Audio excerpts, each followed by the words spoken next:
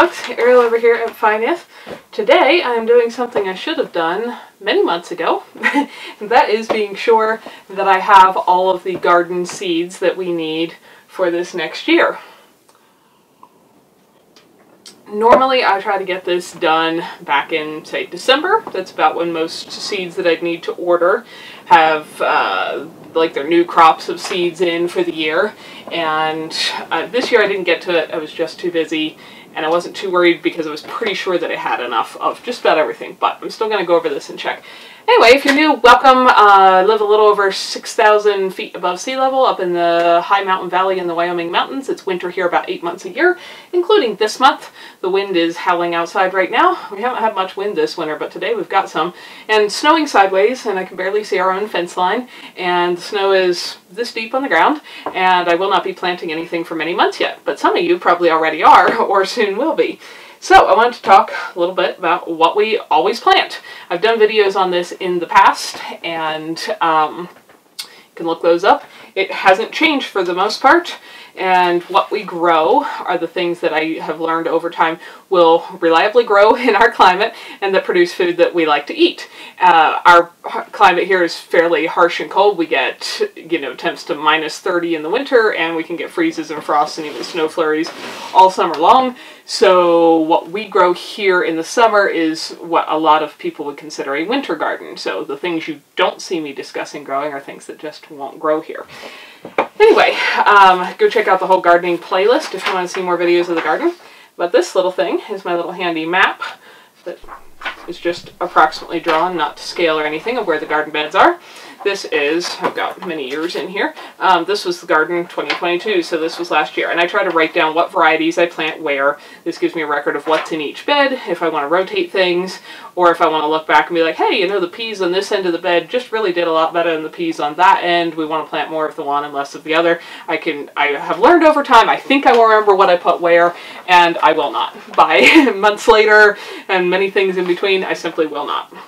So, on my garden map from last year, uh, I noted which kind of potatoes I put in each of our potato beds. We had an excellent potato harvest. We got over 240 pounds of potatoes, um, so on. So looking at that, I have a good idea of what I want to plant this year. Potatoes uh, come from, you know, seed potatoes. They're just potatoes with eyes on them that aren't treated with some kind of growth retardant or whatever, like a lot of ones in the grocery store are to keep them from sprouting so quick.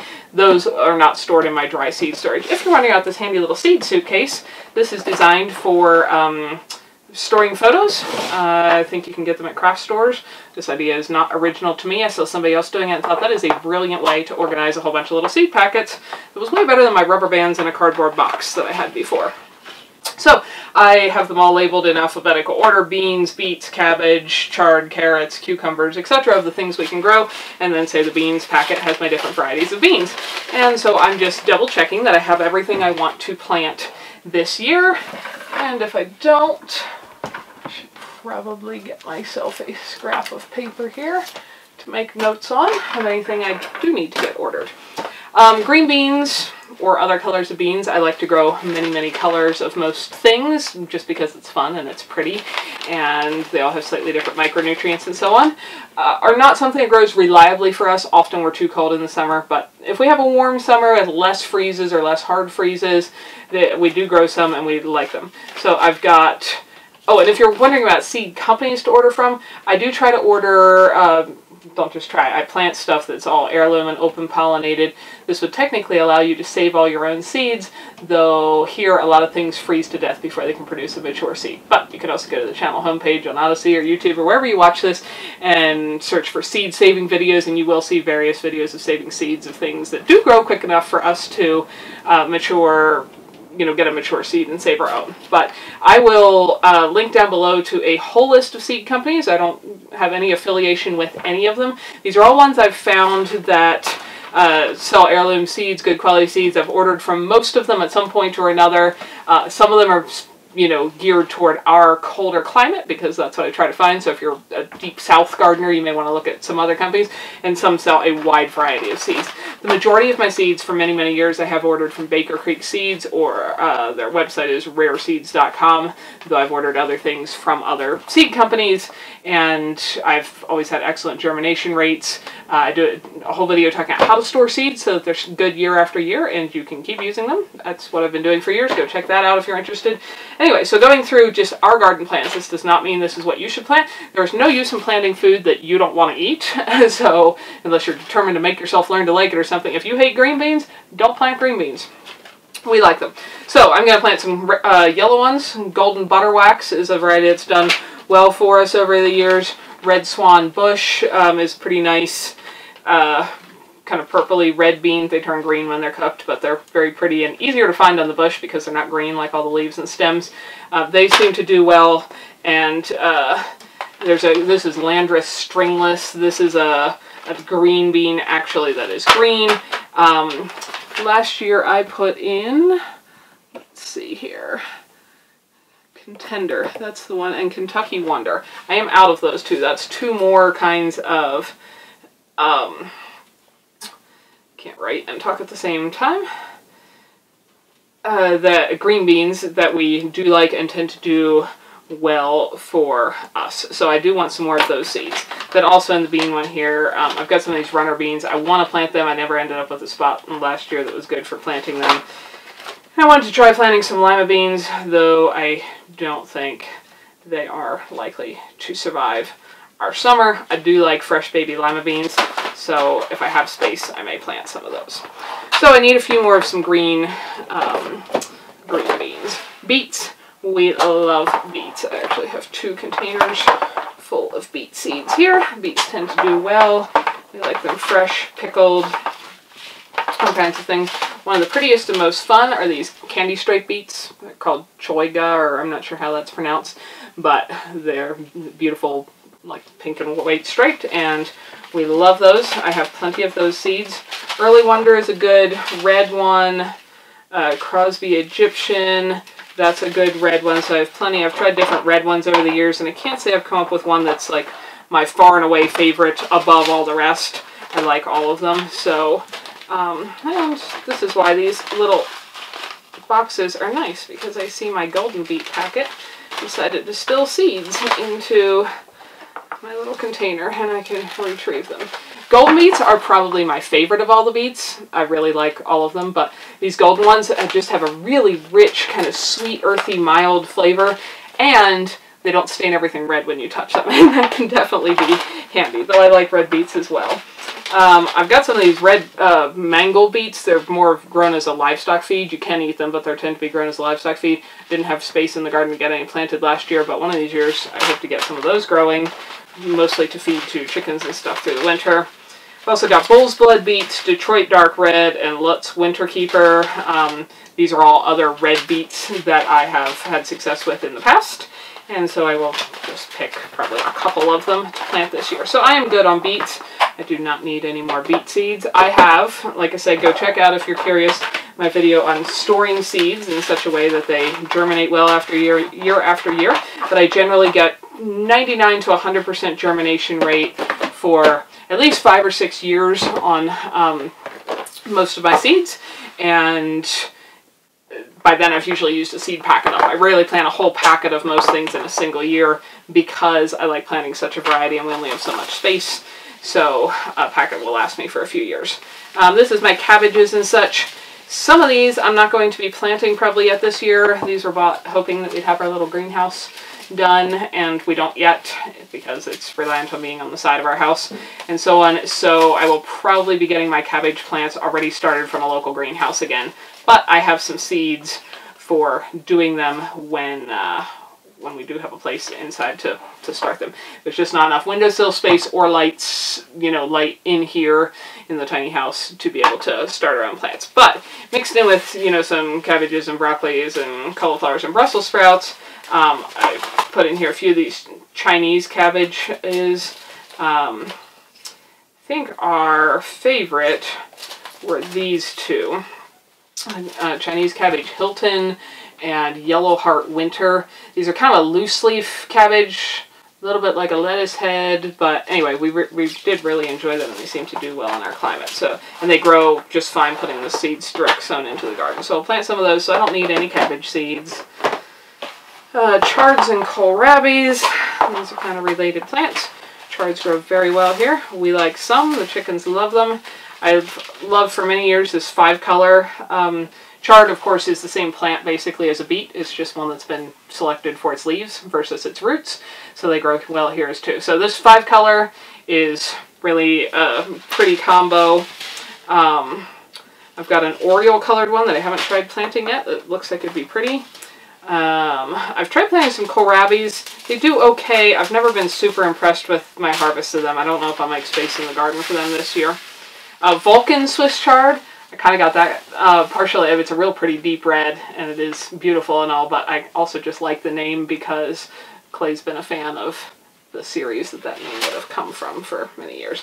I've got I've got several packs of the five color, so I don't need any um, chard seed. A lot of those have you know thousands of seeds in a packet, and I don't plant because I don't have space or we can't eat. We get so many leafy green things that grow well here in the summer. Can't eat them all. Um, so I may try drying some chard leaves to feed to the chickens through the, the winter. Carrots. We plant a lot of carrots. We had probably 120 pounds of carrots out of one little uh, pair of rows down a single garden bed this year. Wood stove is making it hot in here, even with the fact that we've got howling wind outside. Uzbek Goldens are probably my absolute favorite. This packet is actually empty, so I definitely need more of them. They do, we don't tend to plant any of the ones that get a super deep root because of our rocky soil under the beds. Um, the they're just not a good fit. So the shorter, fatter ones are better. You know, things that stay about eight inches long or less are a good one for us. Like I said, we got many, many pounds of carrots this year. Uzbekistan is obviously another mountainy, cold-ish climate. Those do well here. Um, we've got these Kadora Long 8. They were really good, really sweet. I don't know if it was just a coincidence last year. We didn't have great germination on them last year. I still have some of the seeds, so I won't be ordering any more for now, and I will probably plant some more. I thought they have done better other years, but last year they didn't particularly do great. Um, I still have some of this yellow one. I can't pronounce these names. Juana Obtuse de Bois or something like that. They're an okay yellow, but we did not like them quite as much as we liked.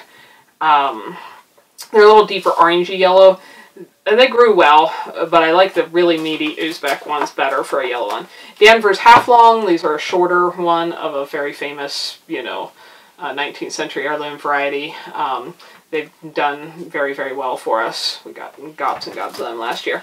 My favorites is Cosmic Purple. They're orange on the outside, or sorry, purple on the outside and orange on the inside. We always plant tons of them. There are so many seeds in there, I know I don't need any more of them right now. Um, Coral, that's another one that's done really well for us over the years. I just, again, like all the pretty colors.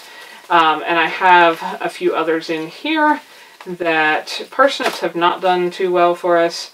Um, St. Valerie and Nantes Scarlet are another two good orange ones that have done well.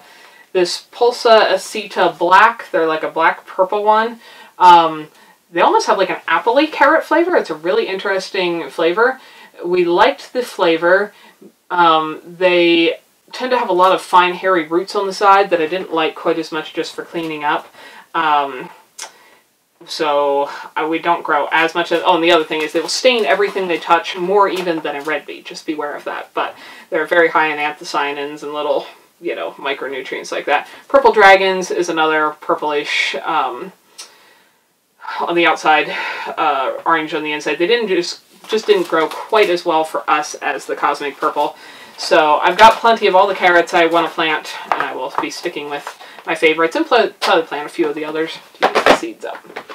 Cucumbers, these are in the same category as uh, green beans for us. Some years, if it's warm, we get some, some we don't. And I put all of my uh, zucchinis in my cucumber pack as well. Um, Fordhook, straight neck. Those are zucchinis. I've grown, um, got here miniature white, straight eight, Marketmore, Monica. These are all cucumbers. I can't say I have a whole a lot of feedback on which is best there because ours pretty much either grow if it stays warmish and we don't get too many hard freezes, or they don't, and that's not the fault of the seed if it's just too cold. So I don't need any more of those because we only plant a handful every year. That packet is all flowers and herbs. Um, they don't actually go in the well, flowers and herbs. They don't go in the veggie garden. Some of those do go around the house and such, and you can look up videos of what we plant in the urban flower planters around there. And if we can ever get the uh, quackgrass to die back in more places, we'll have a lot more of them planted around a lot of other places in the property. And I've got another leaky seed pack that I obviously should have taped shut for blue curled scotch kale. Um, kale is another one that grows super well here. It uh, is another one that, like I said, we can grow so many leafy greens well here in the summer that uh, there's only so much of each one we can eat, but chickens like kale as well, and that's another one I think I'd like to go, grow and uh, purposely in excess of and hang some up in the attic of the shop to dehydrate to see um, how they enjoy having some of the dried greens through the winter.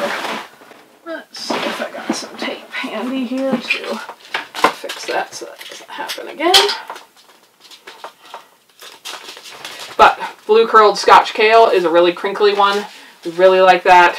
Nero di Toscana is more of a flat leaf one. I haven't been such a fan of the way that one grows, though the interesting leaf textures are different. And again, whatever I'm saying grows well in our climate, if you have a very different climate, may mean our favorites are ones that won't do well at all for you. Uh, scarlet kale, it's really pretty to have the dark purple mix. I've grown dwarf Siberian. It looks a lot like the other one, except it's, uh, you know, smaller. I've got dwarf blue curled scotch. It kind of makes a lower growing one. And then this red Ursa. It's like pinky purple in the middle and um, green on the outside. This is so gorgeous. Um, I often stick some in the flower beds just around the house because it's so beautiful, as well as tasting good. So I have plenty of kale seeds. There's hundreds of seeds in each packet, and each plant we can cut and come again for all summer long, so I don't need that many lettuces. I am a sucker for all the pretty, pretty uh, colors and leaf shapes of lettuces, so we have tons of them. And once again, I know for sure I'm not going to need to plant more. There's some strawberry spinach seeds we did save ourselves. I've kind of got them naturalized around a lot of the property as well. Um, because they reseed themselves prolifically, which is great. They're a you know, become a plant I like having come up everywhere.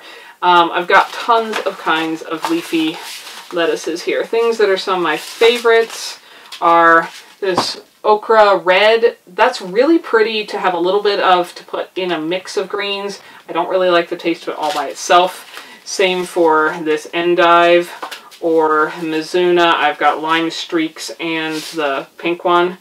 Um, they're all nice mixed in with the other things. I don't like any of those just by themselves, but we usually do a mix, so that's great. Spinach doesn't seem to do well for us. Uh, I don't know what the difference is because generally it does good in a cold climate, but ours seems to like grow a little bit and then just bolt. Um, lettuces do better. Uh, some of our favorites have been tennis ball. This is a butter crunch kind of lettuce. I really like that one. I really like see, is this one I planted last year? No, it's not. I should this year because that one does well. The Linux, Linux, deep um, reddish lettuce. That's, again, very pretty to mix in. Garnet Rose, um, I like it. It's pretty. It doesn't tend to germinate as well for me. Then, of course, I've got a Rocky Top lettuce mix, which is a whole bunch of them. Um, and that hardly makes sense almost to plant because I have so many others. Um, Lola Rosa, I did have that one in here last year, yes. Um, that one's another just pretty crinkly red leaf. Bronze Beauty, I really, really like that one. I plant some of that every year. It's kind of green in the center and bronze on the edges. Merlot, I don't, I don't know if it's the deep red colors that have a harder time germinating because um, this is another one that it's really pretty, but they don't all germinate as well um, as a lot of other things. Merveille Des Quatre Saisons, it's another crispy, butter crunchy, um, you know, kind of red blush leaves. I like that one. Little Gem probably wasn't our favorite. None of these are bad. May Queen is another really crispy, crunchy, sweet butterhead type uh, that we like. And that's probably our favorite. So I definitely do not need any lettuce seeds because that's probably enough for many more years of growing lettuce. Onions. This is another one that I don't need this year because onions are definitely grow best from seed. Look at the, you know, two pound plus onions we produced this year. But they do need started well ahead of when I can plant them in the ground. So again, I buy my starts from a local greenhouse until we got a place where we can actually start our own. So I've got some here in preparation for that that I want to play around with.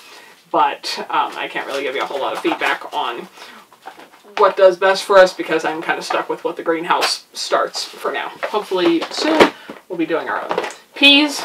Uh, peas do pretty well here. They're a, a cold hardy uh, variety. Last year I did Laxton's Progress number 9 in Alaska. Those both consistently do really well here. I've got some Alaskas left. Um, these little Tom Thumb ones, they do great, but they're not as prolific. They're a mini one. If you have like a, a patio or something, you might want to try these. We have space for them to get taller, so I prefer planting taller ones. These purple ones are really pretty. They grow very ornamentally lovely. Um, Desiree Dwarf the Lost Tokers or something. I'm sure I butchered that. We didn't like the flavor. Um, they were just a little bit mealy. But if you want to just put something in your flower bed to look really pretty, they have a lovely flower and pea shape. Um, have got some early Frosties here from Amkha Seeds. Uh, seed company down in Colorado. Those I don't have as much experience with yet. And then sometimes peas are in too big of a bag to actually fit handily in my little container here because they're a bulky one. This is a this was a pound of Laxton's Progress that came from High Mowing Organic. Um, I planted a bunch of them last year. I'll be planting more this year. So I have the peas I need, except for the fact that the other one I really like is Tall Telephone. And I don't...